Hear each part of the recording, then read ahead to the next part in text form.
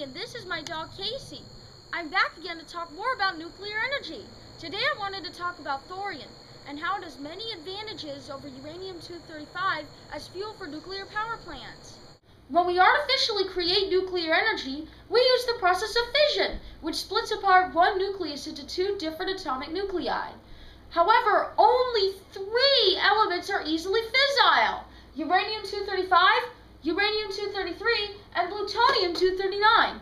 Uranium-235 exists in less than 1% of the Earth's crust, and uranium-233, plutonium-239 exists only when created in nuclear reactors. Solid fuel reactors utilize low enriched uranium, which is 95% uranium-238 and 5% uranium-235. A big concern of today's approach to nuclear power is the large amount of transuranic waste produced by the solid fuel. What are transuranics? Let's look at the periodic table. Uranium, with an atomic number of 92, is the last naturally occurring element. Transuranics are all elements with an atomic number higher than uranium on the periodic table, which are created in nuclear reactors. Now let's discuss thorium. Looking at the periodic table, thorium has an atomic number of 90. The LFTR uses the thorium fuel cycle. This is an animation I wrote of the thorium fuel cycle using the Java language in the Greenfoot environment. A neutron hits the uranium-233 atom, causing it to fission, releasing fission products, energy, and neutrons. The neutron hits the thorium-232, causing it to transmute to thorium-233. Then thorium-233 beta decays, releasing an electron and an antineutrino into protactinium-233. Then protactinium-233 beta decays into uranium-233, starting the process again.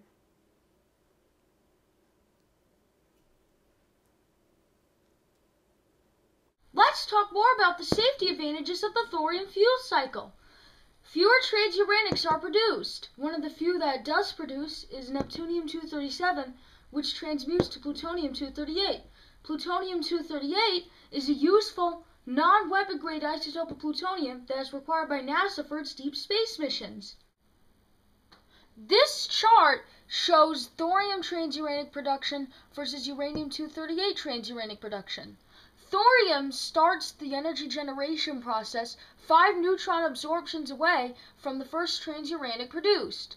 Thorium-232, which begins a cycle, absorbs a neutron to become protactinium-233. Protactinium beta decays in 27 days to uranium-233. When uranium-233 is hit by a neutron, there's a 90% chance that it will fission and a 10% chance that it will absorb the neutron. If it does, it becomes uranium-234 which absorbs one neutron to become uranium-235. If uranium-235 is hit by a neutron, there is an 80% chance it will fission and a 20% chance it will capture the neutron. If the neutron is captured, then the uranium-235 transitions to uranium-236. When uranium-236 absorbs a neutron, then it becomes neptunium-237, which absorbs a neutron to become plutonium-238, which, remember, is a useful non-weapons grade isotope of plutonium that NASA needs for its deep space missions. This is the transuranic production path when we begin with uranium-238. Note that we began with uranium-238 instead of uranium-235. This is because nuclear power plants use low enriched uranium, which is 95% uranium-238. Uranium-238 absorbs a neutron to become Neptunium-239, already the first transuranic. Neptunium-239 beta decays to plutonium-239, weapons-grade plutonium. Plutonium-239 has a 65% chance of fissioning and a 35% chance of capturing a neutron if it is hit by one.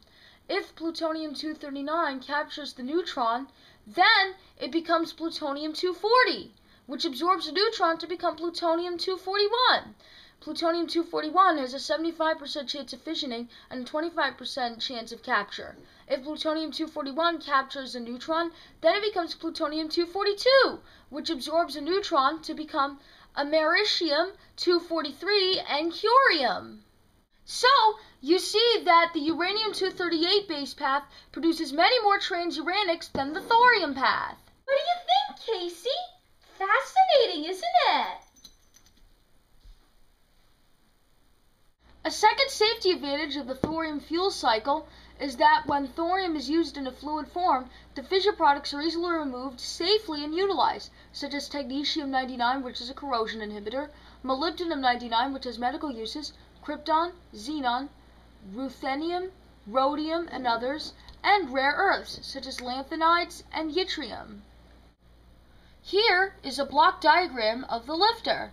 This is the fuel salt core with uranium-233, and this is the fertile salt blanket containing thorium. Now note, here is where the fission products can be easily extracted from the fuel because it is a liquid, and the useful byproducts can be taken out. Wouldn't it be great to get all these useful byproducts while at the same time generating power? There's a very low risk of nuclear proliferation because the uranium-233 is inevitably contaminated with uranium-232, giving it a very high gamma radiation and making it almost impossible to transport away and try to make a bomb out of. Although not necessarily a safety advantage, another advantage to the thorium fuel cycle is that thorium is highly abundant in the Earth's crust. This is a table showing various elements and their abundance in the Earth's crust. Note that thorium at 10 parts per million is much more abundant than uranium-235 at 0.018 parts per million. This figure compares and contrasts the quantity of radioactive waste in a conventional solid fuel reactor with the LFTR. This shows the input and output for 1 gigawatt year of electrical energy. This is the fuel input for both the solid fuel uranium reactor and the LFTR. This is the beneficial use for both and this is the waste output for both.